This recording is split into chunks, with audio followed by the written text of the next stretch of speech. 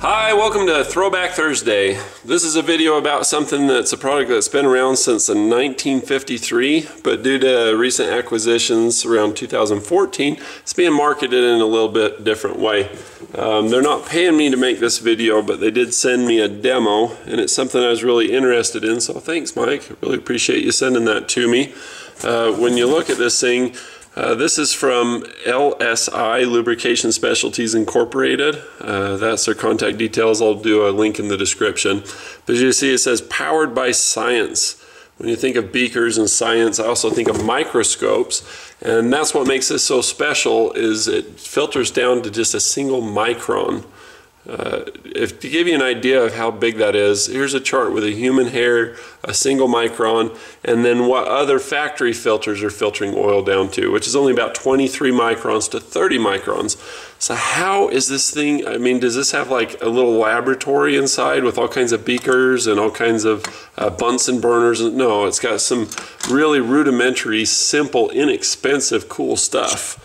Specifically, cellulose cellulose is toilet paper. so you've got these really densely packed toilet paper rolls of really fine material. Now you're thinking paper, why would I want to use paper as a filter? That just seems ridiculous, like it's going to fall apart or something. Uh, well, for one, it's got screening and different things that keep that from happening. Now, again, with the paper stuff, every filter in your car is basically paper. Your fuel filter is a paper element. It's like a little cardboard paper thing with all these different rolls. Your oil filter's paper, your air filter's paper. Pretty much all of the filters in your car are paper. Uh, it's got a handy tool to help pull this back out when it's saturated in oil and weighs a little bit more. Uh, pretty rudimentary, like I say, pretty simple, uh, but the whole kit's made in a really high quality way so that you don't have leaks. It even comes with a sealant to put on the NPT threads that go into your oil filter housing to get pressurized oil. It comes with an oil cap with a quick disconnect so that it can put it back in. So what it does is this is a bypass filter. You still have your factory filter and then just a teeny tiny little bit of oil goes into this. Look at the size of the hole on this just teeny, teeny, tiny. It goes in through the middle, uh, in through the pipe, and then back down through the toilet paper. And what that little trickle of oil is doing is it's taking all of the little particulate matter, all the water, antifreeze, and all the little metals and things that go with an engine that's wearing, or the carbon that gets past the piston rings and makes diesel oil so black, it catches it in that toilet paper roll.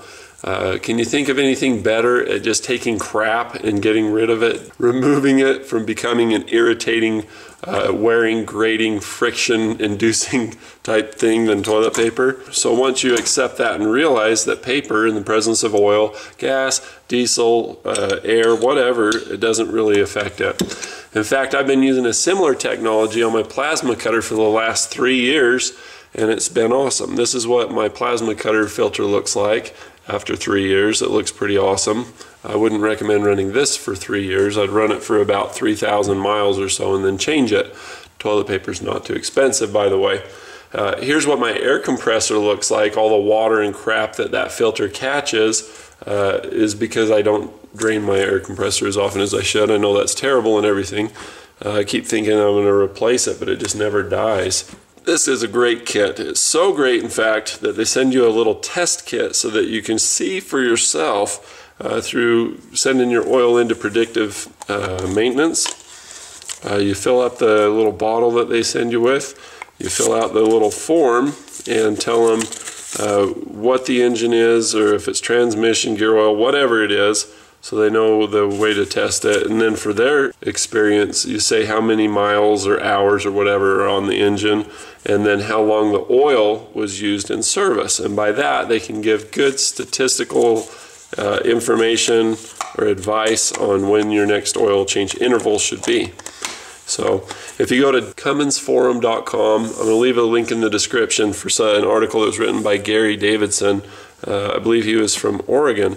And he used this on his truck. And the first one, I think he did a 13,000 mile interval. And uh, the oil came out basically like new. If you use a good synthetic oil like a polyalpha olefin that's thermally stable in the really cold or the really hot. And then you remove all of the little teeny debris, these little tiny things down to a micron. Uh, then your oil lasts a really, really long time. And you don't have to take my word for it. They send you with a kit so you can get it analyzed. So the way that this kit comes is with everything that you see here. You've got the sealant, you got the fittings, you got the hose, you got the clamps. You need a utility knife and a few wrenches for the fittings, but that's about it. comes with two extra O-rings, so you don't have to worry about ordering those. They go right here. And of course a clamp and a mounting bracket and all the hardware that you need to mount it to your fender, firewall, or wherever. So if you've seen a clamp like this before, if you drive a diesel and you ever look under the hood, you'll notice that your turbo uh, your downpipe and your exhaust manifold all use the same kind of clamp. This is the kind of clamp it's easy to work with and just really holds on like crazy. Are you going to have to worry about leaks? Not with sealant, not with good O-rings, and not with a clamp style like this. Uh, you're going to be fine. You're going to be in good shape. So this is a great thing to do to your engine. It helps it last so much longer. It helps your oil intervals so last so much longer. Now why is this so good for your engine? The reason why it's so good is sludge is the enemy of your engine, and sludge is that teeny tiny little particle stuff that your factory filter misses. This bypass filter, uh, running this teeny tiny little flow of oil through it, basically takes your oil, runs it slowly through this uh, into this middle hole, goes through this filter system, and then it goes back into either your oil pan if you want to punch a hole in your oil pan, which you don't have to, or into your cap, which is a really slick disconnect so you can unscrew it really easily without fighting that hose. Uh, put it back on like that, piece of cake. Uh, piece of cake. So long story short, you don't get the sludge buildup in your engine because all the sludge ends up in here. It's just freaking genius. Uh, if you're going to throw a rod or do something like that, it's either because you ran out of oil or because your oil became contaminated and blocked the flow of oil. If you keep that oil uh, flowing, you know, free of sludge, and you're gonna just gonna be in great shape. When I check cars out to see if I'm gonna buy them or check them out for other people, I take the oil cap off, I look inside, and I look at the metal. I see if the metal's covered with like brown or nasty black stuff or whatever. That's the contaminants uh, from that build up when you don't change your oil on time. Uh, with this, you don't have to have drain intervals at the normal time because it pulls the stuff out of it. That's what I'm trying to tell you. Cheers, thanks for tuning in. Uh, I'm going to leave links in the description uh, where you can find one of these. I'm going to leave a link in the description for the calculator to see if this is right for you. How much is your oil change? How many times a year do you do it? How many years do you plan on owning the car? You know, this is a really high quality, well-made kit. Uh, it's a little bit pricey. That's just the way it is. Uh, and then I'm also going to leave a link in the description for that CumminsForum.com uh, little article. Again, like I say, from Gary Davidson. You know, it shows the report that he got from Blackstone that basically says it doesn't matter when you do your oil change on this. It doesn't seem to matter. You added 7,000 miles to it, and it's still just going strong. And that wasn't even from predictive maintenance, you know, which these guys are obviously paying money for this. Uh, that was from Blackstone, a different uh, independent laboratory.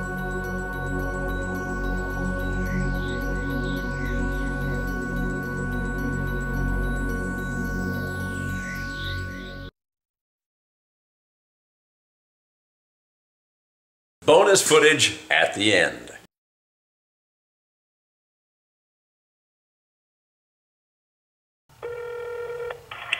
Service, this is Roy. Hey Roy, how are you? This is Brian. Yes, sir. Like to do one of those Frantz oil bypass filters so that I can run longer oil change intervals. How, if at all, would that affect my warranty? Your warranty states every 7,500 miles.